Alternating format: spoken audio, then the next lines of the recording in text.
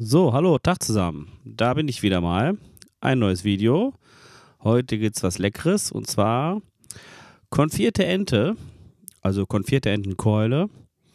Konfieren ist ja eigentlich ähm, ja richtig in viel Fett, also viel Öl oder man nimmt halt bei Entenkeulen natürlich Entenfett. Man kann auch Gänsefett nehmen, aber ich habe das hier mal auf einem anderen Video gesehen mit einem Schuss Wasser. Die Entenkeulen enthalten sowieso so viel Fett, da kommt eine ganze Menge raus und das klappt so fantastisch. Also hier, ich habe jetzt vier Entenkeulen, ein bisschen gesalzen, gepfeffert. Knoblauchzehen habe ich gut dran gemacht. Da wird das Ganze hier so ein bisschen durchgejiggelt.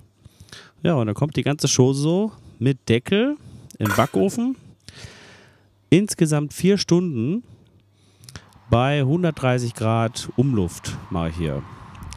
Backofen kennt ihr alle schon. Hm, sieht lecker aus. Irgendwann mache ich mal vielleicht mal ein Unboxing-Video von Entenkeulen oder von einem neuen Backofen. Ja, also, nach zwei Stunden, Hälfte ist vorbei. Wie gesagt, 130 Grad, Ober-Unterhitze. Sehen die Keulen so aus. Ja, erstmal ganz gut. Wir sind auf dem Weg. Man sieht schon, da ist einiges an Fleischsaft rausgelaufen und die Knoblauchzehe in der Mitte, die schwimmt ja ganz schön. Ja, jetzt werden die Keulen umgedreht, damit die, keine Ahnung, damit die jetzt weiter garen können. Einfach dann auch von unten auch nochmal ein bisschen Geschmack und Fett da dran kommt, das Öl besser, das Fett besser ausläuft. Keine Ahnung, mache ich so, funktioniert wunderbar. Ich habe Entenkeulen so nach dieser Methode schon oft gemacht. Eigentlich immer so zur Herbst-Winterzeit. Bei uns ist jetzt oft so zu Weihnachten.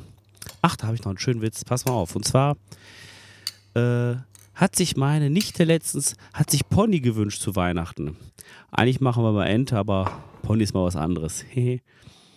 so, dann nach vier Stunden sehen die Keulen so aus. Man kann sie natürlich schon essen, aber der Clou kommt ja noch. Ja, man sieht, jetzt ist richtig viel an, an Fett, an Fleischsaft ausgelaufen und die Entenkeulen sind jetzt richtig weich. Man kann natürlich jetzt mit einer Messerspitze mal so reinpixen und das mal checken, aber die sind auf jeden Fall weich. Und ich kann schon hier am Knochen fühlen, hier wunderbar weich. Ah, das wird herrlich. So, die hole ich dann hier raus und lasse die abkühlen.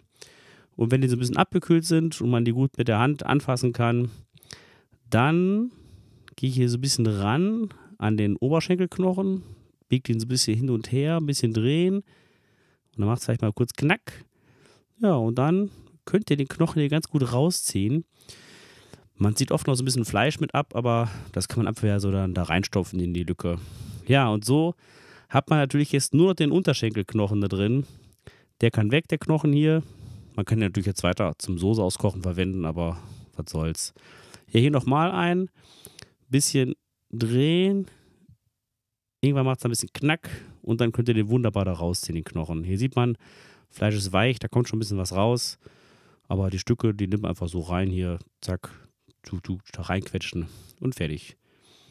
Ja, man könnte die jetzt auch noch ein bisschen abbinden hier, aber oder ein bisschen zurechtschneiden, aber wunderbar. Hier am besten ein schön schmales Gefäß. Hier kommt die ganze Flüssigkeit rein. Die Knoblauchzehen natürlich raus. Und dann nehme ich hier mit einem so einer Soßenkelle dann vorsichtig das Fett abschöpfen und das gieße ich hier so beiseite. Ja, das Fett kann man natürlich auch aufbewahren, aber mir geht es erstmal um die Flüssigkeit, die ich habe. Da möchte ich jetzt gern so für uns noch eine Soße rauskochen. Und ja, so sieht das dann aus, wenn das ganze Fett so weit wie es geht davon entfernt ist. Man hat dann hier einen wunderbar leckeren Fleischsaft. Wird nochmal alles durchgefiltert, durchgesiebt und dann aufgekocht.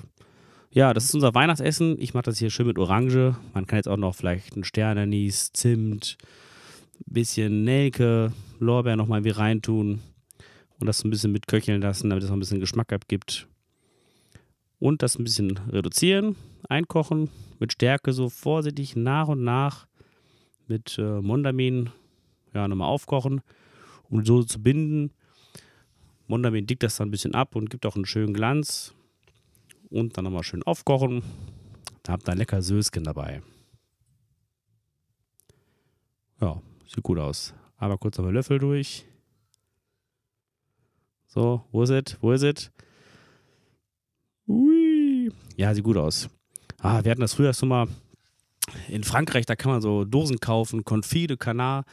Da sind dann die Dosen richtig in Fett drin, mega lecker. Das macht man einfach warm oder frittiert das. Ich glaube, in Frankreich, da essen die die Haut auch so glitschig. Aber ich nehme einfach hier die Pfanne, die ich vorher mit im Ofen hatte. Da lege ich jetzt schön zwei Keulen rein und dann kommen die unter den Grill. Schön volle Pulle, schön knallerheiß. So wie sie sind. Zack, da rein. In der Zwischenzeit habe ich natürlich andere Sachen noch gemacht, noch einen Salat, wie natürlich so oft. Ja, hier, ah, sieht gut aus. Und wie gesagt, hier der Oberschenkelknochen ist weg. So kann man wunderbar essen. Das ist einfach, die Keule ist einfach viel leckerer, viel zarter vom Fleisch. Kann ich nur jedem empfehlen. Lieber Keule nehmen als Brust. Ich habe zwar hier auf dem Kanal auch schon was mit Hähnchenbrust gemacht, aber Keule ist einfach geiler. Dann habe ich hier ein schönes Kürbispüree mit Feldsalat, mit Orangendressing, kommen so ein paar Orangenfilets dazu und dann kommt auch schon schön die Keule drauf. So. Also, war echt lecker.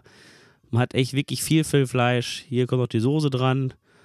Ja, die am besten nicht auf die Haut schütten, wäre zu schade. Macht man sich die schöne knusprige Haut kaputt. Teller am besten schön vorwärmen, damit die Soße nicht direkt abkühlt. Ah, wunderbar, fantastisch. Also kocht's nach. Ist geil. Hier nochmal ein Foto. Viel Spaß beim Nachmachen. Bis bald. Euer Paul.